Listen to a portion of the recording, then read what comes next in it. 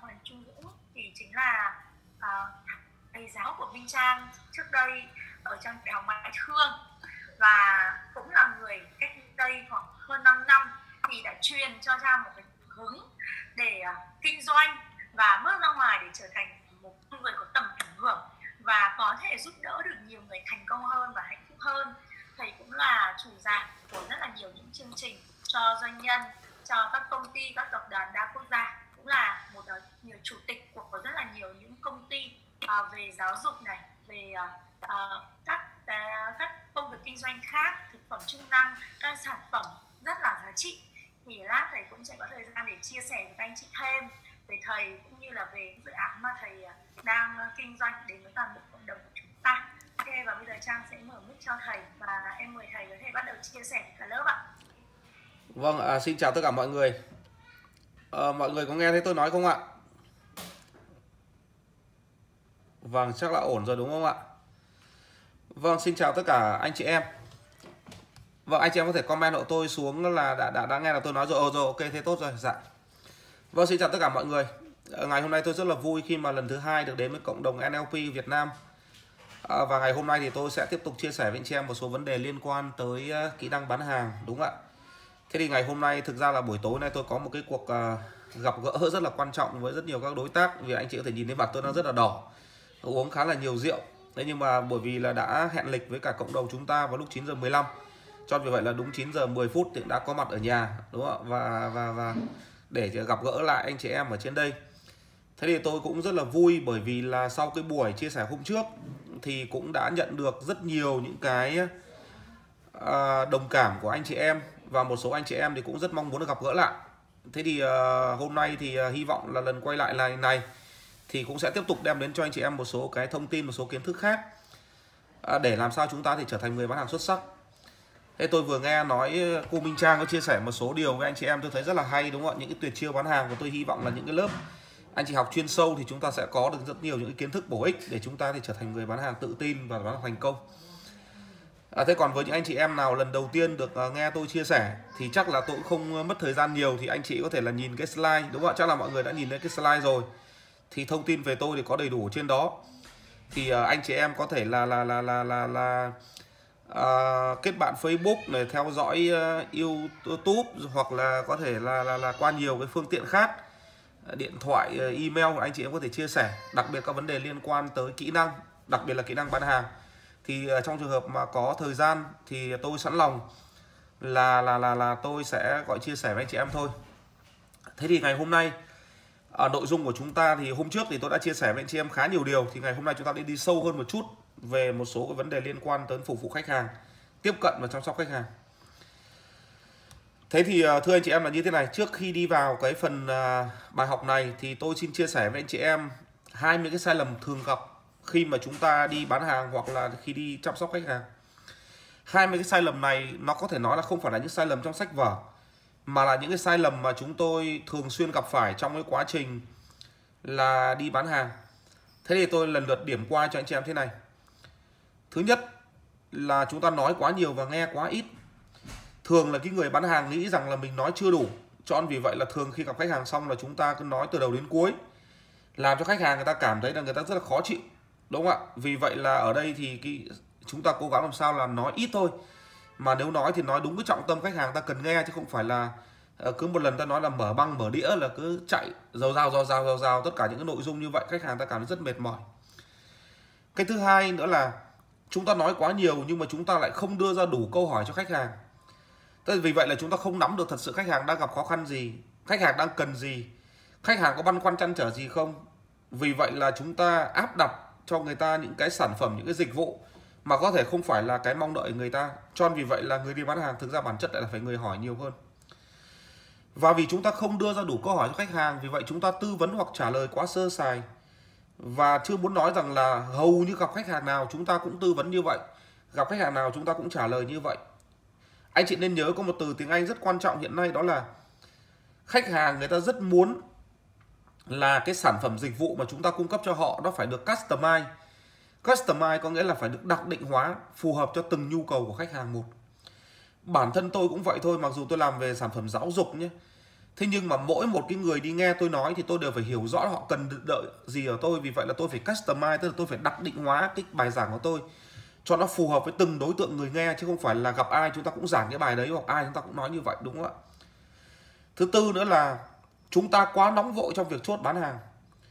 Quá nóng vội tức là chúng ta chưa nói được bao nhiêu cả người ta chưa có sự tin cậy ở mình và mình cũng chưa chạm được vào cái cái cái nỗi đau hay là ước mơ của khách hàng.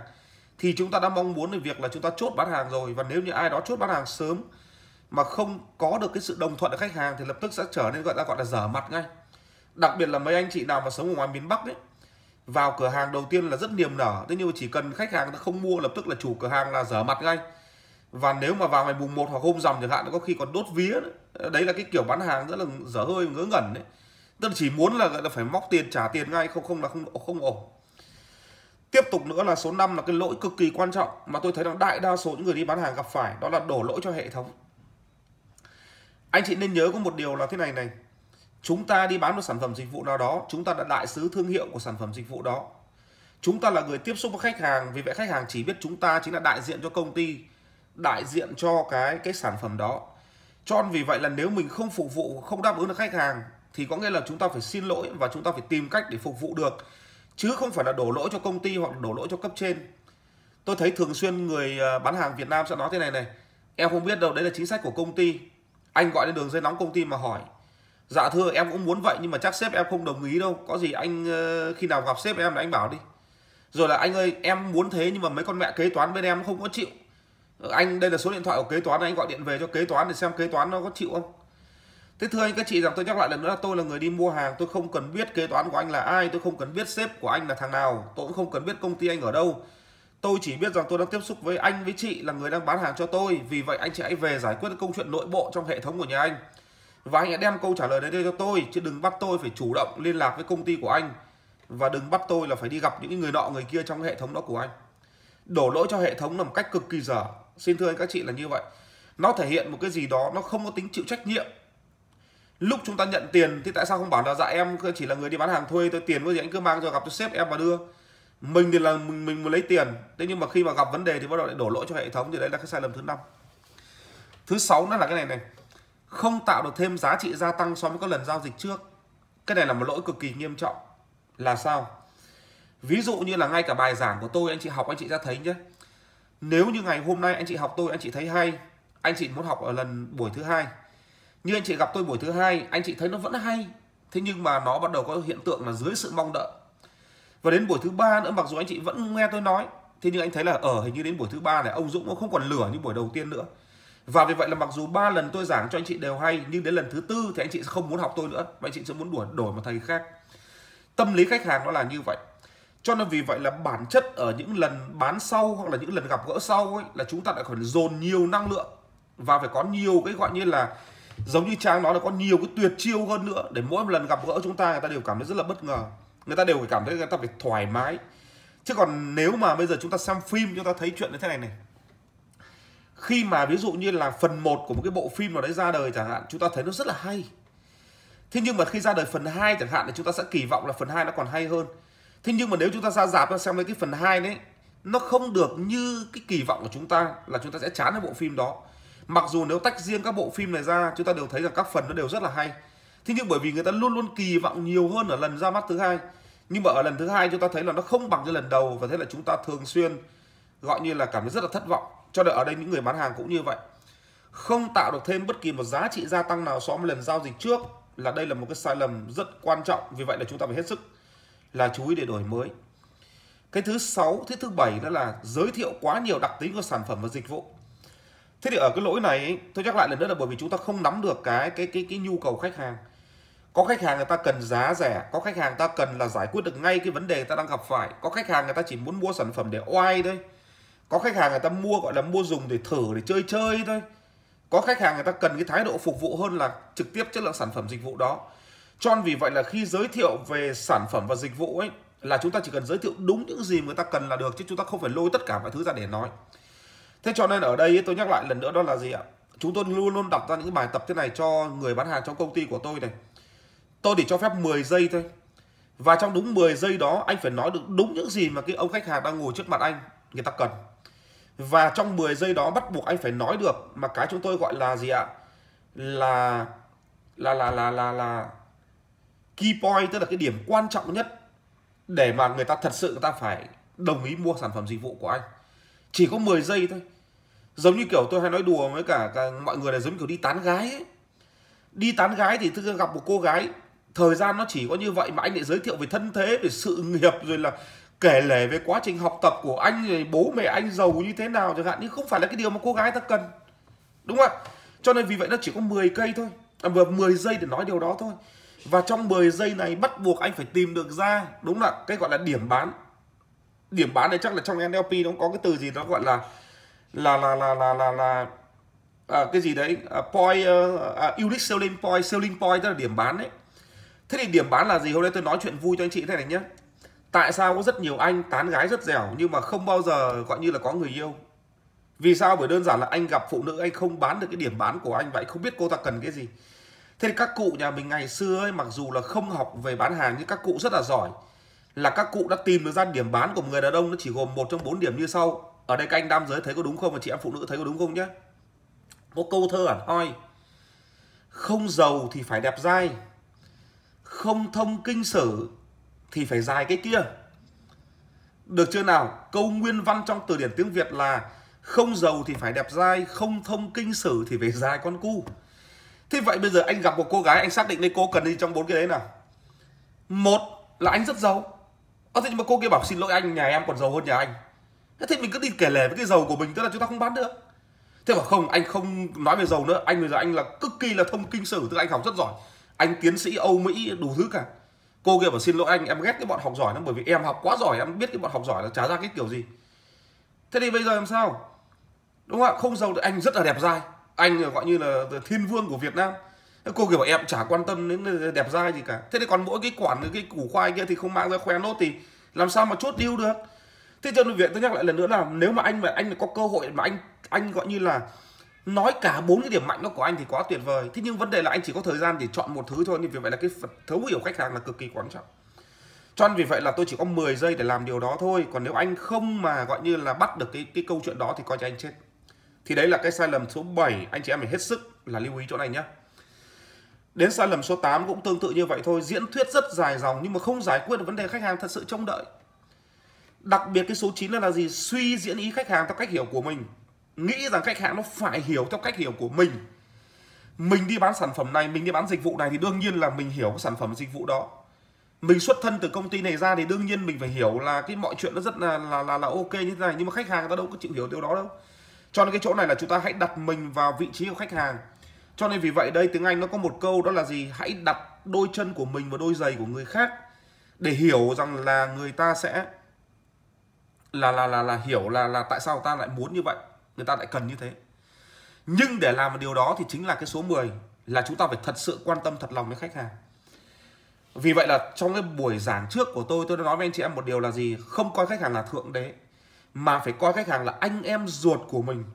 Và vì là anh em ruột của mình cho nên mình phải quan tâm đến họ thật lòng như quan tâm đến anh, đến chị, đến em ruột của mình. Chứ còn thượng đế thì nó vẫn làm cái gì đấy như kiểu là mang tính là mình van ơn người ta, mình ở thế thấp hơn người ta vậy. Chứ còn đây nó phải là câu chuyện của anh em ruột với nhau. 11 khi đã quan tâm ta thật lòng rồi, thì anh lại phải đưa được ra bằng chứng rằng mình đã làm hết cách rồi. Thật sự mình đã làm hết cách rồi. Cho nên là nó có một câu nói rất hay trong phần 11 là gì anh chị biết không? Tôi có thể không bao giờ làm cho trời ngừng mưa được, nhưng tôi đảm bảo tôi sẽ tìm cho anh được một cái ô. Anh chị nhớ câu đấy là được. Có nhiều cái mà công ty mình không thể đáp ứng được nhu cầu của khách hàng. Mình cũng không thể nào đáp ứng được ngay yêu cầu của khách hàng. Thế nhưng mà mình phải chứng tỏ rằng mình đã làm hết cách rồi. Tức là tôi đã tìm tìm mọi chỗ để có cái ô tôi che cho anh rồi. Còn cái việc mà cái ô đó nó không đủ che, anh vẫn ướt chẳng hạn. Thì thật sự tôi cũng chịu, nhưng mà thật sự là tôi đã làm hết cách thế nhưng mà khi mà nhìn vào người bán hàng của chúng ta hiện nay, tôi đảm bảo rằng nhiều người không làm hết cách. Mọi người chỉ quan tâm đến việc là làm thế nào để có thể là đưa được doanh thu về mình mà thôi. Ở đây tôi có một cái ví dụ rất hay cho anh chị trong việc bán hàng là thế này này. Tôi đã từng nói với nhân viên của tôi, đó là gì? Anh khi nào mà còn quan trọng đến doanh thu ấy, thì anh vẫn chưa thật sự vì khách hàng. Anh phải quan tâm đến khách hàng, chứ không phải quan tâm đến doanh thu do khách hàng đem lại bởi vì nếu anh quan tâm đến doanh thu, tức là anh đang quan tâm đến bản thân anh anh chỉ quan tâm việc tôi bán sản phẩm này, tôi kiếm được về bao nhiêu tiền và tôi được bao nhiêu lợi nhuận từ đó. Thế còn anh phải quan tâm đến khách hàng cơ. Thế cho nên vì vậy là gì? Chúng ta cơ bản là chúng ta đang quan tâm đến khách hàng. Hiện nay có rất nhiều người không hề quan tâm đến khách hàng, mà chúng ta đang quan tâm đến túi tiền của khách hàng thì đúng hơn. Cho nên vì vậy là khi vừa bước chân vào trong một cửa hàng chẳng hạn, tôi nói ví dụ như ở đây anh tài của công ty thế giới di động, anh lấy một ví dụ rất hay. Là một cô bé bán điện thoại di động một cô bé bán điện thoại di động ở trong đó có điện thoại Samsung có điện thoại iPhone và có cả điện, điện thoại theo kiểu là một triệu. Thế nhưng mà khi mà một người bước vào mà hỏi rằng cô ơi tôi muốn mua cái điện thoại một triệu chẳng hạn. Thì những cô bán hàng rất hay nói thế này này ôi anh ơi thời này ai là mua điện thoại một triệu nữa? Theo em ấy anh ấy mua cái điện thoại là Samsung đi nó 7 8 triệu rất nhiều tính năng hoặc là anh anh mua hẳn là iPhone đi. Bọn em đang có chương trình giảm giá đấy hiện nay còn 30 triệu thôi thay vì 35 triệu. Thế và khi thấy cái người khách hàng này vẫn cứ xem xét ở những cái cửa hàng điện thoại một triệu ấy thì những người bán hàng là có vẻ cảm thấy là không hào hứng bằng việc là người ta xem điện thoại iPhone hoặc điện thoại Samsung. Thế cho nên vì vậy ở đây tôi nói là cái người bán hàng có tâm ấy bản chất nó phải thế này này. Quan sát cái người này chỉ là một người lái xe ôm bình thường. Và thậm chí là nếu như cái người xe ôm nó có mon men đi mua điện thoại iPhone chẳng hạn thì phải nói thế này mới đúng này. Dạ thưa anh em tin rằng anh đang tìm một cái điện thoại để dùng trong công việc có đúng không? Mà anh mặc áo của Gap ờ, uh, bay này chắc anh đang làm xe ôm điện thoại iPhone là để nó ra, em thấy chất lượng nó cũng tốt đấy. Thế nhưng mà các anh mà đi trên đường ấy, mà dùng điện thoại iPhone nó tốt thế này, không cẩn thận bị giật, nó phí ra. Mà hai nữa là nhiều khi em thấy rằng là các anh chủ yếu là điện thoại điện thoại, nhiệm vụ là nghe gọi. Cho nên vì vậy là em thấy là cái điện thoại iPhone này nó không thật sự là cần thiết anh ạ. Để mà có màn hình, để mà có thể vào được mạng, em nghĩ cái điện thoại này, bây giờ nó có triệu mấy thôi nhưng nó vẫn đáp ứng được yêu cầu đó. Em nghĩ là anh nên mua cái điện thoại này, còn tiền anh để dùng việc khác có khi nó tốt hơn vậy tôi hỏi thật lòng anh các chị là bao nhiêu người bán hàng của chúng ta hiện nay có thể có cái tư duy đó? Chúng ta thường hay quan tâm đến việc là doanh thu của khách hàng chứ không phải là câu chuyện quan tâm thật lòng đến khách hàng. Cho tôi nhắc lại là tất cả các bài học về bán hàng ấy chúng ta nghe tưởng là rất đơn giản nhưng mà để đạt cái điều đó thì gần như chúng ta không làm được đúng không ạ? Thế cho nên hôm nay tôi thật sự là tôi đã tôi nói chuyện cụ thể tôi luôn hỏi tôi đi uống rượu. Thế thì anh chị thấy cái tưởng tượng này cái người bán hàng này tôi là nếu mà vào tay tôi ấy, tôi hay nói đùa là tôi vả một cái là gãy răng luôn thế thì hôm nay nhá tôi đưa khách tôi vào quán ăn. Cái hàng nhà ăn đấy nó gọi là bán con ba ba anh chị biết rồi con ba ba. Thế thì vừa ra tôi có rất nhiều khách ngồi đấy cái cô bán hàng cô ra nói này này. À, thưa anh nhà hàng em là chuyên về món ba ba. Ở đây thì có ba loại ba ba thì không biết là anh chị ăn loại ba ba nào. Thế thôi ba loại là ba loại gì hả em? Thì cô bảo thế này này cái ba ba thường ấy là nó có mấy trăm nghìn một cân thôi nhưng mà bây giờ chả ai ăn cái ba ba đấy anh ạ bởi đấy là ba ba nuôi thế còn cái loại cao hơn là ba ba nó tầm khoảng 2 triệu một ký. Thế còn khách vip như các anh ấy, ai vào đây cũng gọi ba ba 4 triệu một ký anh ạ. Thế thì hôm nay anh ăn ba ba gì?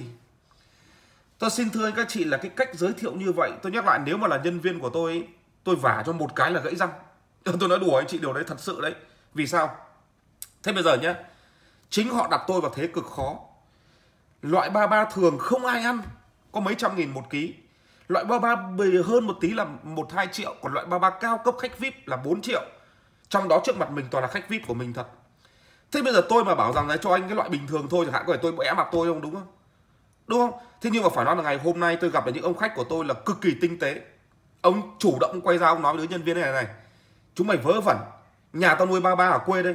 Làm gì có cái loại ba ba nào mà là nhiều loại ba ba khác nhau. Tất cả đều là một loại hết. Cái gì mà 4 triệu với cái gì là hai triệu với cái gì là mấy trăm nghìn cứ gọi cho bọn tao, cái loại 300 nghìn cho tôi tao ăn ba ba mãi chán này chỉ ăn cái loại thường thôi, đúng không anh Dũng? Thế là người ta mới giải hóa cho tôi một cái bài toán như vậy. Thế còn bây giờ mà gặp ông khách nào ông đừng nghe để tôi xong quyết định thế nào mà tôi lại bảo thôi em ạ, anh biết là có ba loại rồi nhưng anh chỉ đủ tiền ăn loại thường thôi. Lấy cho anh loại thường hoặc là thôi thôi thì anh lấy loại thường thôi, có phải chết tôi không? Thế như vậy là cái người bán hàng ấy, người ta tinh tế, không bao giờ người ta đặt cái khách hàng vào tình huống khó khăn như vậy. Đúng là cho nên vì vậy là người ta phải nói với tôi thế này mới đúng này dạ thưa anh hiện nay ba ba cũng có nhiều loại. Thế nhưng mà bọn em làm nhà hàng ở đây ý, thì em thấy là mọi người cũng thường dùng cái loại ba ba mà hơn 300 nghìn. Nó cũng rất là ngon nó rất là tốt rồi anh ạ. Mà hai nữa là em nghĩ là mình còn dùng nhiều món khác nhau. Thưởng thức thì cũng chỉ cần thưởng thức một chút thôi. Em nghĩ thế này là được. Thế thì bản thân ấy tôi là khách vip thật tôi sẽ nói này này này. Thế ở đây em có loại nào đắt hơn nữa không? Thì lúc đấy anh hãy nói. Thế còn tôi chưa nói gì cả mà anh đã bắt tôi phải uống cái loại cao nhất anh bắt tôi dùng cái loại cao nhất thì làm sao mà tôi chấp nhận được? Cho nên vì vậy là ở đây ấy, là nếu anh thật sự quan tâm khách hàng, anh đừng bao giờ đặt khách hàng vào thế khó. Và đừng bao giờ bắt tôi phải phải phải coi như là phải lựa chọn để mà đảm bảo doanh số thật cao của anh. Cho nên đây là cái tôi gác lại lần nữa là quan tâm thật lòng đến khách hàng. Không đưa ra bằng chứng chứng tỏ rằng mình thực sự làm hết cách. Và cái thứ là đặt câu hỏi dẫn dắt khách hàng cách thái quá, chính là ví dụ về ba ba tôi vừa nói với anh chị, là sai lầm số 12 tiếp tục nữa sao? Sử dụng những câu nói ngỗ ngược khi ông đạt mục tiêu ví dụ tôi bảo là, thôi, lấy ba ba thường thôi. Là kiểu gì cô bé đó, đặc biệt ở ngoài miền Bắc ấy, sẽ quay đi và nói chứ, trông thế mà kẹt xỉ. Hoặc là, cái lão này chả hiểu biết cái gì cả. Nó láo ở cái chỗ đấy. Cho nên tôi nhắc lại là cái người bán hàng ấy, tức là khi mà không đạt mục tiêu của mình cái, lập tức là quay ra là bắt đầu láo luôn. Hay là hôm trước tôi đi mua quần áo cũng là một ví dụ cụ thể. Thế anh chị biết biết rồi, tôi là người rất là béo, vì vậy là chọn quần jean là nó rất là khó. Thế khi tôi vào, tôi đã bảo một câu, tôi đã phải rào trước rồi là, em mà anh mặc quần jean là rất khó anh sợ không mua được quần jean. Thế cô bảo, anh anh yên yên tâm yên tâm. Anh thử đây cho em. Tôi nhìn qua tôi đã thấy có vẻ không hợp rồi tôi bảo, em ơi, anh không hợp đâu. Cô bảo, không sao, anh cứ thử đi. Thế là tôi thử cái đấy, tôi bảo, em là thật sự mặc vào trông như là trạng lợn ấy, không được. Cô bảo không không sao, còn cái khác. Thế là cô lấy cho tôi khoảng 6 7 cái, có vẻ rất nhiệt tình. Nhưng thật sự là tôi mua đồ trên cơ sở là tôi phải thấy thích, tôi mới mua. Tôi bảo, thôi em ạ, anh rất xin lỗi em nhưng mà sáu cái này anh mặc xong đều không được. Thế thôi, chào em, anh đi. Y như rằng nói ngay một câu thế này này à, thử thì thử lắm thế. À, biết thế không thử luôn từ đầu có phải hay hơn không? À, tôi bảo này nhá con bé này láo nhá. Thứ nhất là tao không muốn thử đồ bên mày rồi nhưng mà bởi vì là mày cố gắng bắt tao thử nên tao mới thử. Thế nhưng mà rõ ràng mày hy vọng là trong sáu cái thử này tao sẽ mua cho mày một cái đúng không? Nhưng bây giờ tao không mua cái nào. Vậy mày quay ra mày phản thùng tao luôn mày nói rằng ờ, biết thế không lấy cho thử mất thời gian. Tức là ý mày vẫn muốn tao lấy một trong sáu cái đấy đúng không? Mày hơi bị nhầm. Chính ra mày phải nói thế này mới là chuẩn này. Ôi anh ơi em rất là xin lỗi anh bởi vì là làm mất thời gian của anh quá mà cuối cùng anh vẫn không dùng được cái sản phẩm nào bên em. Trong thời gian sắp tới có khi là em phải bảo hãng phải quan tâm đến những người béo và xấu như anh để có một loại quần riêng cho anh ấy. Nhưng mà anh ơi không sao đâu anh ạ. Ờ, anh thử thế này thì em mới thấy là đúng là bây giờ là là là là là, là những người như như anh cũng cần phải có một cái phân khúc phục vụ riêng. Thế thôi nhưng mà em vẫn giữ lại cái quần màu vàng này anh nhé. Em nghĩ cái quần này cũng là cái quần mà hợp nhất anh có thể mua rồi ở cửa hàng em. Em cứ lưu lại đây em cứ để lại đây. Anh cứ đi thêm mấy cửa hàng nữa đi nếu trong trường hợp anh không mua được cái nào nữa thì anh cứ quay lại đây, anh lấy tạm cái này, mặc tạm một thời gian anh nhé chẳng hạn. Tao đảm bảo tao sẽ lấy cái đấy. Thật, kể cả tao lấy cái đó tao về tao chơi. Nhưng mà bởi vì mày không nói câu đó, thậm chí trước khi đi nó còn cầm lấy cái tờ giấy nó đốt lên, nó hơi qua háng nó để mà nó nó đốt vía tôi, thế nó mới đều chứ lại cho nên xin thưa anh các chị là tôi không chấp nhận được cái điều đấy. Vì vậy thưa anh các chị là đây là một cái ví dụ tôi nhắc lại lần nữa, đó là chúng ta không nên lộ cái cái cái cái cái tư duy bán hàng một cách nó ngớ ngẩn của chúng ta một cách sớm như vậy và vì chúng ta không làm điều đó bởi đơn giản là chúng ta không quan tâm thật lòng khách hàng. Chúng ta không quan tâm khách hàng, chúng ta chỉ quan tâm đến túi tiền của chúng ta mà thôi, nó là như vậy. Rồi là chúng ta áp dụng những cốc máy móc một cách thủ thuật để vượt qua các sự từ chối. Ở đây ờ, tôi rất là tâm đắc với trang vừa nói là thế này này. Là trong bán hàng nó có rất nhiều các cái tuyệt chiêu. Thế nhưng mà tôi vẫn dạy với nhân viên của tôi một câu đó là tuyệt chiêu cao nhất là vô chiêu. Đúng không? Tức là đỉnh cao của tuyệt chiêu là vô chiêu, tức là không có chiêu gì cả. Mà chúng ta chỉ có một cái chiêu duy nhất, đó là sự chân thành. Vì vậy tôi nhắc lại lần nữa là bất kỳ một thủ thuật gì hoặc là một tuyệt chiêu gì chăng nữa, chúng ta tuyệt đối chúng ta không được lạm dụng. Giống những người học võ công vậy, người ta có rất nhiều tuyệt chiêu. Nhưng trong những tình huống bình thường, người ta rất ít khi mang tuyệt chiêu ra để người ta hạ gục đối thủ. Mà đấy gọi là cùng bất đắc dĩ trước khi chết rồi. Không có cách nào khác người ta mới dùng thôi. Chứ còn ở đây cái tuyệt chiêu cao nhất đó là chúng ta đến với nhau bằng sự chân thành cho nên cái này là cái mà chúng ta không được, tuyệt đối không được vận dụng một cách ồ ạt hoặc là áp dụng một cách nó nó không có có có có tâm vào trong cái việc bán hàng. Thì đấy là cái tiếp theo. Tiếp theo nữa là không linh hoạt và quá cứng nhắc. Đúng nào? Rồi là kết thúc quá trình đàm phán quá sớm. Ở đây cái kết thúc quá trình đàm phán quá sớm ấy thì tôi đã rất tâm đắc với trang ở một điều thế này này. Không bao giờ hỏi câu yes or no. Bởi vì chẳng may chúng ta hỏi yes or no mà khách hàng bảo no, tức là quá trình kết thúc đàm phán đúng nào. Cho nên vì vậy là ở đây có một lời khuyên tiếp là chúng ta đừng bao giờ nói giá bán đầu tiên. Tại sao lại không nói giá bán đầu tiên? Bởi vì giá là cái rất dễ làm ta từ chối. Khi anh chưa đem lại cho người ta giá trị gì thì tại sao tôi phải chấp nhận cái giá đấy? Đúng không ạ? Bởi vì bây giờ nhá, tôi nói ví dụ như là một khóa đào tạo của NLP khi tôi còn chưa hiểu được giá trị của khóa đào tạo NLP thì 20 triệu một khóa đào tạo hay 50 triệu một khóa đào tạo hay là 100 triệu một khóa đào tạo, hay là thậm chí chỉ là 500 nghìn khóa đào tạo với tôi là quá cao thế giả sử chúng ta tưởng tượng bây giờ chị Trang chị chưa đem cho chúng ta giá trị gì hết chị lên nói luôn. À, tất cả mọi người tất cả mọi người vào học NLP nhá. À, tôi xin hạ giá đi giá hôm nay chỉ có 500 nghìn một khóa chẳng hạn. Tôi dám hứa với anh chị em luôn là trong 500 người đang theo dõi tôi đây phải có 400 người sẽ từ chối. Bởi vì tôi đã biết chị Trang là ai đâu chị đem cho tôi giá trị gì đâu. Mà tôi NLP là cái gì đâu tại sao 500 nghìn? Tại sao không phải là 200 mà lại là 500 cho nên vì vậy là bây giờ chúng ta đưa giá ra trước là kẻ ngớ ngẩn mới đưa giá ra như vậy. Cho nên vì vậy bắt đầu chị Trang chị phải đưa ra rất nhiều các cái giá trị khác chị phải nói tất cả các cái gì đó ra và cứ mỗi lúc lại thêm thêm. Và bắt đầu khi nào mà thật sự khách hàng ta cảm thấy chín cuồi rồi, thì lúc đấy cái câu chuyện giá bao nhiêu không phải là quan trọng nữa. Đúng không vì người ta biết giá trị của ông Warren Buffett nó là bao nhiêu rồi, cho nên vì vậy ông ta đặt ra một bữa trưa cả triệu đô vẫn rất nhiều người đăng ký. Thế còn bây giờ chúng ta chưa biết ông Warren Buffett là ông nào đã nói luôn với ăn trưa của Warren Buffett là một triệu đô một bữa. Mọi người phải thằng trai bị điền, làm sao lại phải ăn một bữa một triệu đô? Đúng không thế nhưng bởi vì khi ta đã hiểu rõ giá trị của ông ta có thể đem lại thì người ta sẵn sàng trả giá hơn cả một triệu đô đó. Vì vậy, quay trở về sản phẩm dịch vụ của chúng ta cũng như vậy. Một hộp thực phẩm chức năng 500 nghìn theo anh chị là đắt hay là rẻ? Làm sao mà biết được đắt hay rẻ được? Nó có thể vẫn là rất đắt và nó có thể cũng là rất rẻ. Thế bây giờ một cái áo hàng hiệu chẳng hạn. Theo anh chị, một cái áo hàng hiệu bây giờ 10 triệu là rẻ hay là 10 triệu là đắt? Tôi chả biết được. Cho đến khi nào mà người ta phải cảm nhận được cái giá trị của nó có thể đem lại. Cho nên tôi nhắc lại chị ở đây đó là gì? Khi mà nói chuyện với khách hàng mà chúng ta cứ mang giá ra để mà dọa khách hàng đầu tiên, đấy là sai lầm rất lớn. Bởi vì nó sẽ có nguy cơ làm cho quá trình đàm phán chúng ta kết thúc rất sớm. Tiếp tục nữa, chúng ta để ra một cái thời gian để tiếp cận và tiếp cận lại khách hàng là quá lâu. Chúng tôi có một nguyên tắc như sau 333 333 là gì? Ví dụ khi khách hàng mà có mà để lại một cái lời nhắn ở trên Facebook cho chúng ta hoặc là để trên website của chúng ta, thì tối đa là trong vòng 3 phút anh phải có trả lời người ta một câu ví dụ như là cảm ơn chị đã quan tâm đến cửa hàng bên em. Dạ hôm nay bạn em đang nghỉ. Đến thứ hai bọn em sẽ có người trả lời anh chị chẳng hạn. Một câu trả lời là không thể phục vụ được thì nó vẫn khác với việc là không trả lời. Cho nên vì vậy tối đa là 3 phút là phải có phản ứng ngay.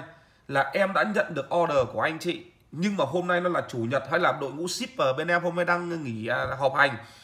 Nhưng mà rất cảm ơn anh chị và em sẽ hứa quay lại với anh chị vào thứ hai tuần sau. Đấy là gọi là 3 3 phút đầu tiên trong đó là khi anh đã hứa với người ta rồi, đúng không ạ? Thì trong vòng tuyệt vời nhất là trong vòng là 3 ngày đầu tiên là tối đa nhé là người ta phải nhận được cái sản phẩm dịch vụ của người ta. Còn anh thích làm gì anh làm. Cho nên vì vậy là ở đây tôi nhắc lại lần nữa là gì? Anh có thể phải ghi cách này là gì? Bởi vì thực ra bây giờ ở Việt Nam, tôi nói từ miền Nam đến miền Bắc đấy ba ngày đã là dài rồi. Hôm nay tôi đặt một cái cuốn sách, họ gọi cho tôi thứ nhất là đắp up lên trên mạng về nhu cầu của mình. Tận 4 năm tiếng sau bắt đầu họ mới gọi điện. Sao bảo anh em bọn em nó bán sách như là cái cuốn sách của anh thế nọ thế kia, vì vậy em xin phép là có gì 5 ngày nữa mà anh sẽ nhận được sách. Tôi nói luôn, tôi không mua nữa, bởi vì 5 ngày đó là quá dài đối với tôi. Vì vậy ở đây chắc lại là trong Việt Nam hiện nay, trong bối cảnh chúng ta hiện nay, tôi vẫn yêu cầu là 3 ngày là tối đa là phải nhận được sản phẩm dịch vụ. Tiếp tục nữa là sao? Tôi còn một cái số 3 nữa cơ. Là sau khi là giao hàng cho khách hàng xong thì trong vòng 3 tiếng là tối đa phải có người gọi điện thoại đến để hỏi. Ví dụ anh ơi, anh đã nhận được sách của anh chưa? Anh ơi, bên kỹ thuật bên em đã lắp sản phẩm cho anh chưa? Anh có nhu cầu gì không? Anh có kêu ca gì không? Đó là ba ba ba đúng không? Và còn một cái ba nữa là gì? Trong vòng 3 tuần tiếp theo lại phải có một cái cái nữa để mà quay trở lại. Ví dụ là anh ơi, anh mua cái máy giặt bên em. Đã hai tuần nay rồi, anh thấy dùng có trục chặt gì không? Bên em hiện nay đang có giảm giá cho nồi cơm điện nữa để ưu tiên khách hàng đã sử dụng sản phẩm dịch vụ bên em. Vậy anh mà mua để em sẵn sàng là giảm giá x phần trăm chẳng hạn, vân vân vân vân vậy tóm lại công thức của chúng tôi đã đơn giản lắm. Ba ba ba ba. Anh chị thích nghĩ thêm ba cái gì nữa cũng được. Trong vòng 3 phút đầu tiên là phải trả lời cái order người ta là được hay không, hay hẹn người ta một cuộc hẹn. Trong 3 ngày là phải giao sản phẩm dịch vụ đến tay người ta. Sau 3 tiếng từ khi người ta nhận được sản phẩm dịch vụ là phải có, gọi như là, xác nhận lại, hỏi thăm người ta. Và trong vòng 3 tuần là phải tìm cách có thể chào bán tiếp sản phẩm hoặc là hỏi thăm hậu mãi người ta. Còn gì nữa đó tôi không biết vậy thì thưa anh các chị đây là cái câu chuyện mà tôi muốn nói với anh các chị về việc đó là còn nếu chúng ta đưa ra thời gian tiếp cận và tiếp cận lại khách hàng quá lâu thì thật sự chúng ta không quan tâm khách hàng rồi. Tiếp tục nữa là không thực hiện đúng với thỏa thuận thì cái này rõ rồi. Người ta gọi là treo đầu dê bán thịt chó. Lúc quảng cáo thì vẽ đủ thứ ra nhưng cuối cùng thực hiện không được bao nhiêu. Anh chị nên nhớ câu chuyện này này. Con người ta ấy, nó buồn cười chỗ này. Anh làm cho người ta 99 điều trong 100 điều anh hứa người ta vẫn không nhớ nhưng chỉ cần một điều anh không làm cho người ta thì người ta lại nhớ mãi. Cho nên công thức tuyệt vời của chúng tôi anh chị biết là gì không? Công thức này anh chị bắt buộc phải ghi xuống này. 100 trừ 1 bằng 0 anh chị sẽ hiểu công thức đấy. 100 trừ 1 bằng 0 công thức này không đúng trong toán học, nhưng cực kỳ đúng ở trong kinh doanh. Tức là anh ký cho tôi một bản hợp đồng gồm có 100 điều. Anh thực hiện 99 điều. Anh không có quyền được đòi hỏi khách hàng cảm ơn anh hoặc ca ngợi anh nhưng có một điều anh không làm được thì anh phải trả giá cho cái điều anh không làm được đó và tất cả trở về không hết. 100 trừ 1 bằng 0 đúng ạ? Và anh chị muốn hiểu tâm lý này, anh chị cứ tìm hiểu tâm lý chị em phụ nữ ra là một ví dụ cụ thể. Một năm 365 ngày, chồng tặng hoa 364 ngày, không nhớ. Một ngày không tặng, nói luôn, thằng chồng em cực kỳ vô tâm. 100 trừ một bằng không mà. Ơ, anh chị thử xem đúng thế không? Tôi không có nhu cầu phải nhớ 364 ngày, còn lại chỉ một ngày mày không làm là mày chết. Đúng chưa? Ra yêu cầu là chồng em ngày nào cũng phải tắm. 364 ngày ngày nào nó cũng tắm, thậm chí mỗi ngày tắm hai lần, không bao giờ đi kể. Chỉ cần một hôm chồng không tắm, đến cơ quan khoe luôn, chồng em bẩn như lợn ấy. một ngày mà nó không tắm lần nào anh ạ, chết không? Ờ, tôi nhắc lại lần nữa, đó là cái tâm lý này là tâm lý cực kỳ quan trọng áp dụng trong bán hàng nhé. 100 trừ 1 bằng không, anh chị nhớ là được, đúng không tiếp tục nữa là không hướng dẫn người ta đầy đủ về sản phẩm dịch vụ. Rồi tiếp tục là không đề nghị khách hàng nói lên cảm nghĩ của mình trong và sau giao dịch cái sai lầm này rất là quan trọng đấy ạ. Bởi vì khách hàng ấy thường người ta vẫn muốn thể hiện một chút. Bản chất con người ta đều muốn được ghi, ghi danh và muốn được thể hiện. Cho nên là ngày xưa chúng tôi làm ngân hàng ấy trong cái quy trình bán hàng của chúng tôi bao giờ tôi yêu cầu giao dịch viên như sau. Sau khi giao dịch xong chẳng hạn thì nên nói với người ta một câu thế này này. Dạ thưa anh thưa chị anh chị còn có yêu cầu gì nữa không ạ? Ngày hôm nay đông khách quá cho nên vì vậy chắc hẳn là bọn em làm hơi chậm. Cho nên là có thể làm cho anh chị cảm thấy phiền lòng Dặn nếu anh chị còn bất kỳ điều gì kêu ca về cái dịch vụ này của bọn em thì anh chị có thể góp ý cho em để chúng em nâng cấp dịch vụ. Dạ còn nếu thật sự không còn gì thì chúc anh chị một ngày vui vẻ. Câu đó của chúng tôi nó chiếm tầm khoảng 30 giây. Nếu mà nói với tốc độ của tôi mất khoảng 30 giây. Nhưng thực sự để lại cho khách hàng và tôi nhắc lại lần nữa là khách hàng ấy người ta sẽ nói yêu thôi. Người ta nói câu này này, gớm ngân hàng của cô thì kinh lắm, kinh rồi. Ờ, nhưng mà mỗi tội đến giao dịch ấy, bao nhiêu lâu chả bao giờ có cái kẹo trong đó ngân hàng Vpbank Bank lần nào được ăn kẹo thế thực ra khách hàng ta chả cần cái kẹo đó đâu người ta trách nhiều khi cũng là trách yêu vậy thôi nhưng mà như chúng ta bảo vâng ạ à, ôi chị thật là tinh tế ạ à. bọn em chuẩn bị kỹ thế vậy mà quên cái kẹo dạ vâng ạ à, lần sau thì bọn em sẽ chuẩn bị kẹo cho khách hàng ạ à. thế từ người ta ra khỏi đó người ta cảm giác như kiểu người ta đang đóng góp cho sự phát triển phồn thịnh của ngân hàng đó vậy xong về lại bảo chứ đấy, mấy thằng ngân hàng chú thế mà ngu lắm ấy. Có mỗi cái kẹo cũng không biết, hôm nay tao mà không nói cho cái bọn ngân hàng chẳng bao giờ biết làm như vậy đâu. Tức người ta cảm thấy thế thế, và người ta muốn quay lại lần sau để người ta được chứng kiến cái kẹo đó có nằm trên bàn của người ta. Cho nên thưa anh các chị là ở đây tôi nhắc lại lần nữa đó là đây là cái câu chuyện bán hàng, bản chất là câu chuyện về tư duy và bản chất là câu chuyện về về về về về tâm lý rất là nhiều. Cho nên nếu mà chúng ta mà cứ nghĩ rằng là bán hàng chỉ là câu chuyện một người đưa cái gì đó và một người trả tiền là nhầm rồi, đó là câu chuyện về tâm lý cho nên tại sao các cái khóa đào tạo về NLP hay là các cái lớp đào tạo về tâm lý học ấy là những khóa đào tạo mà chúng tôi luôn luôn coi nó là nền tảng của việc bán hàng?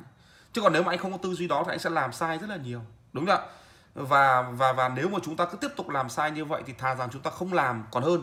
Cho nên ở đây tôi nhắc lại là hai mươi cái sai lầm này là hai mươi hai sai lầm chúng ta cần phải hết sức lưu ý trong cái việc mà chúng ta đi gặp khách hàng. Thế vậy thì bây giờ thế nào